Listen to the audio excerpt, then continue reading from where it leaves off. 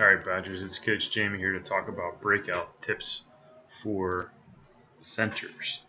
So, the key concept here is slow and low, meaning we're going to work slowly and methodically, and we're going to stay low to the net.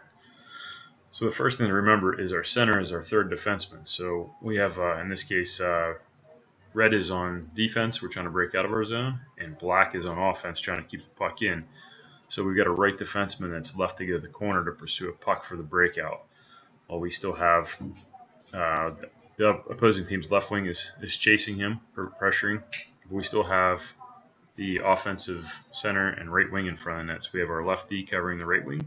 So our center has to stay with their center and cover the house. Number one, cover the house.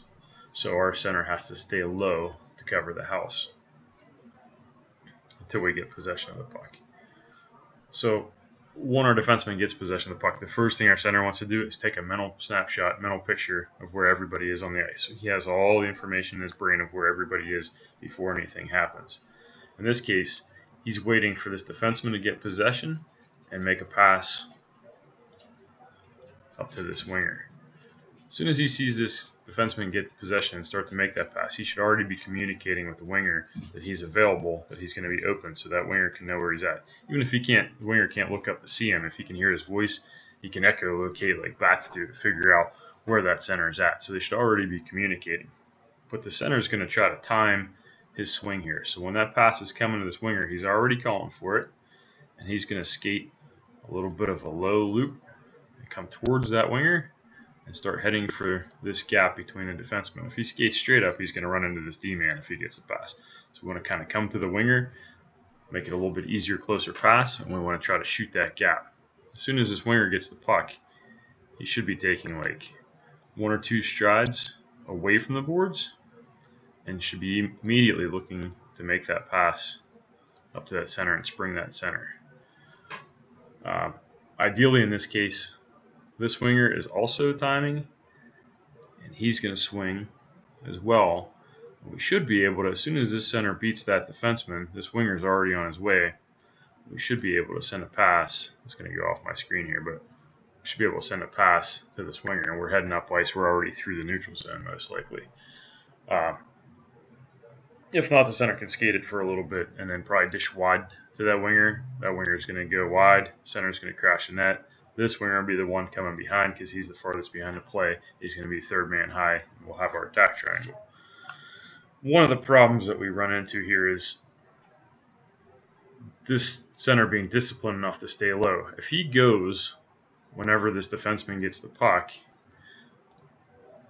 he's going to be going way too early. So as soon as the defenseman gets the puck, the center starts skating he's going to be all the way at the blue line by the time this pass is made. It's going to be too far of a pass. Plus, most likely the defenseman is going to pinch over and get him. Uh, we bleed out too far. The worst thing you do is even be behind the defenseman because um, then we're being outnumbered in our zone and it's going to be really hard to make that pass. So that's where we come back to the concept of slow and low. So if that play is taking too long to develop, maybe this defenseman bobbles the puck in the corner or the left wing gets a little bit extra pressure on him. The center is going to maybe he was he was coming to go. Well, now it didn't materialize as fast as he could. He's going to circle back, and he's just going to keep cycling down here until time as this defenseman gets the puck up to that winger. And once again, we can time it, and then we go and we hit that pass. Definitely don't want to get too far ahead. It's going to be too hard to make that pass. Um, once again, that center should be communicating the entire time. It should be communi communicating to the winger uh, where he's at so that we know.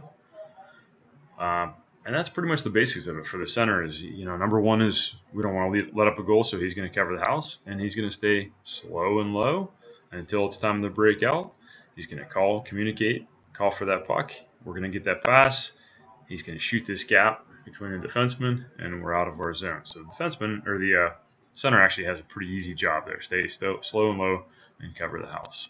And uh, that's smart hockey, and that's what we, we want you guys to do.